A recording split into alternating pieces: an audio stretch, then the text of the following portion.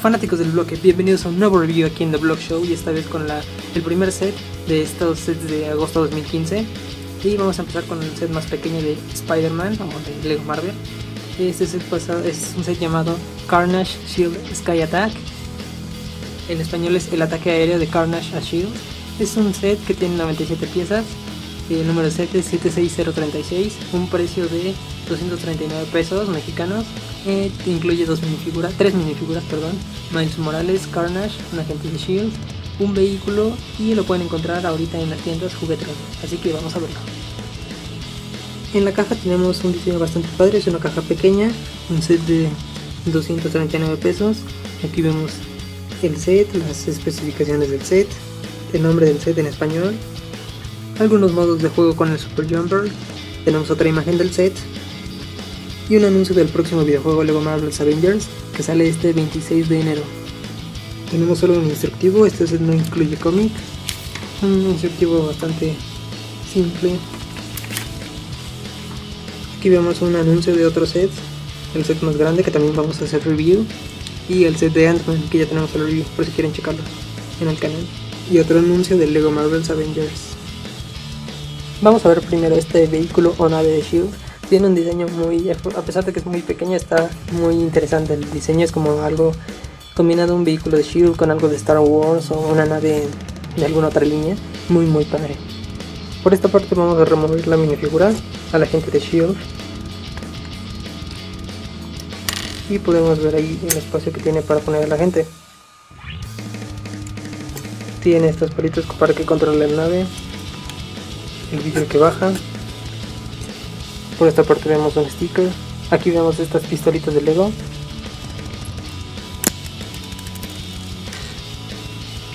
Aquí tenemos sus alas. Esta parte se impresa en el brick. Eso como hélice. Y se mueve. Como ven se mueve bastante. Por la parte de abajo tenemos esto como turbina. Aquí nos encontramos con un espacio para poner unas esposas y de este lado el arma del agente. En la parte de arriba vemos que tiene un sticker con el logotipo de Shield. Aquí en la parte de atrás tiene otra como turbina. gira. Y tiene un espacio para guardar cositas. Vienen estos tres bolitos de Lego. Es como una cajita, una caja fuerte detrás del asiento de la minifigura.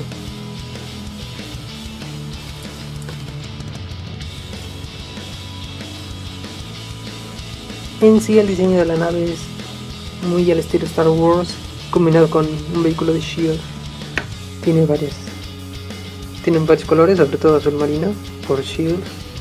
Es una nave con un diseño bastante padre y creo que les va a gustar mucho, mucho, mucho. Está muy padre. Bueno, esta minifigure es una de las razones principales por la que muchos van a comprar este set y es que tenemos a Miles Morales por primera vez en Lego. Para los que no sepan, Miles Morales es el nuevo Spider-Man, entonces es muy muy padre ya que su traje es bastante similar de los cómics. Encontramos algunas marcas azules alrededor de sus ojos, también la impresión muy detallada en su cabeza. Igualmente la impresión en su torso es muy detallada, muy de acuerdo al cómic y también al de la serie de Ultimate Spider-Man. Igualmente nos encontramos con la impresión en la parte de atrás de su cabeza y en su espalda. Esta es una de las minifiguras más padres de esta colección de Spider-Man en Lego Marvel. Está muy padre. Otra de las razones para comprar este set es Carnage. Habíamos tenido a Venom anteriormente, pero no a Carnage. Vemos que tiene un diseño bastante similar al de Venom, con la misma pieza eh, que tiene en su espalda. Como ven esta pieza gira, se atora en su espalda.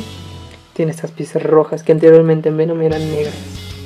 Si removemos la pieza de su espalda tenemos una mejor vista a los detalles de impresión en su espalda y en, su, la parte de atrás de su cabeza.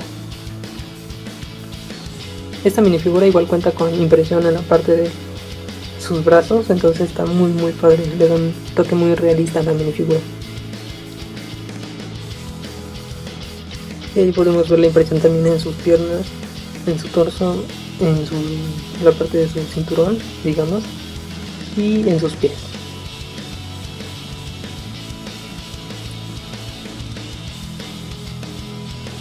Por último tenemos a la gente de Shield que tiene un diseño en su traje pues de Shield, ahí tienen el logotipo.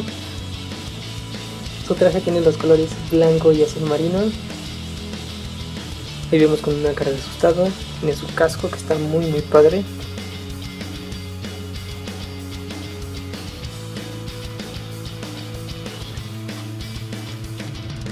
Tiene impresión en la parte de atrás de su espalda. Y tiene otra cara sonriendo. Así se ve su cara sin su casco y su otra cara sin su casco. Por último, este set también incluye un Super Jumper que muchos ya no usan porque lastiman la parte de atrás de las piernas de la minifigura. Las maltratan un poquito, pero bueno, eso es decisión de ustedes. Esto sería todo del set, espero les haya gustado. Pronto el review del set de Rhino, el set más grande de esta serie de Ultimate Spider-Man. Eh, comenten qué otro set les gustaría ver, chequen el concurso Stop Motion, síganos en Twitter o en Facebook. Nos vemos la próxima. Y chequen el especial 4 Fantásticos, es el mejor de todos.